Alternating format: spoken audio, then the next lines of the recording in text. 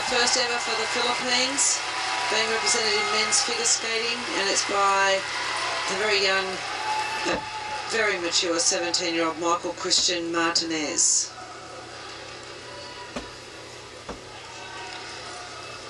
He's the first Filipino to ever have landed a triple axel in competition. Very charismatic performer. And he is skating to Arthur Fiedler's Romeo and Juliet.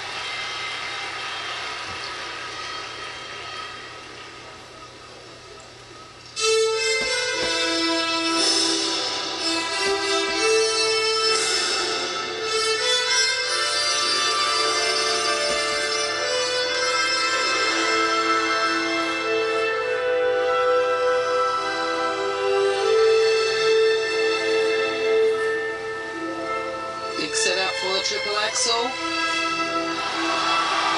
that's the first triple axel by an Olympian from the Philippines. Handling the pressure so well. There's that flexibility. Good speed across the ice into the triple lutz, not a problem. Wouldn't rotate the triple toe all the way around. That will hurt.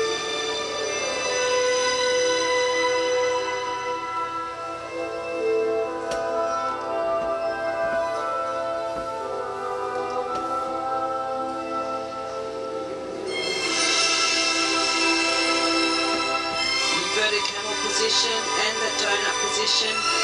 His flexibility is a great strength in the spins. Yeah, that really was a difficult uh, change foot camel spin.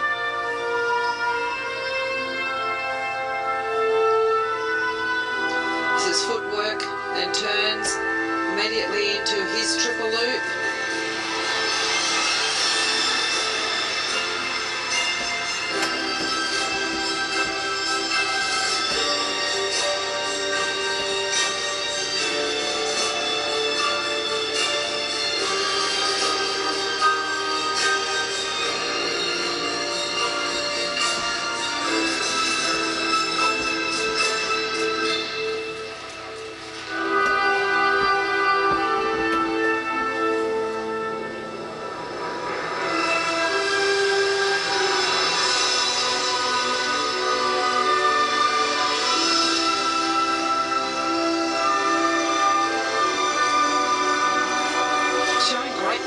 Skill for such a young man.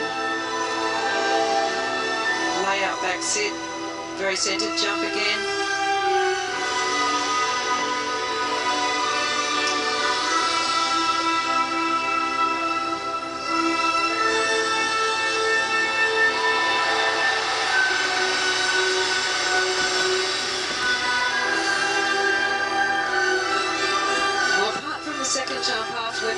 A debut for the Philippines.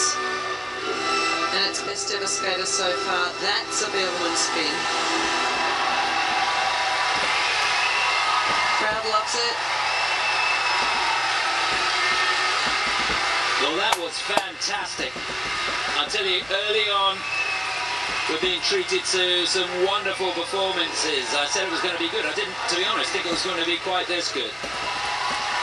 What a shame about that combination. He just seemed to overcook the first part a little bit. The triple lutz got a slightly over-rotated with the top half and lost the tension for the triple toe. And uh, that sure to be reviewed by the technical panel. Will they give it a double downgrade? Will they just give it a, a downgrade? Well, we're looking down and uh, it is a double downgrade, so that's really going to hurt him. So basically he gets the base value of a, a double and then uh, negative GOE on that. Because of his age, he's mostly been in juniors and was fifth at Junior World, so this is a big step up. There's the triple axel, good height, not a lot of distance, very much backwards. An unrefined landing position. And here is the triple lutz, and it wasn't really a problem. I think it was a matter of just really committing and jumping that second one. Yeah. Just didn't get the height, No. and just that split second of not thinking. And I do mean split second. Uh, here goes the triple loop. And so that's a better landing position than he had on the axel, that just the quality of the landing position. We would call this the Mr. Frick move, a very famous Frick and Frack. You're in the ice shows in we America. What do you call it? Cantilever spread. There you go. Mr. Frick and frack made it famous. There you go. I've never heard that before. Well done. You can be very proud of yourself. Victor Kudryavtsev sat alongside and he knows what it's all about. He's been there a few times, hasn't he?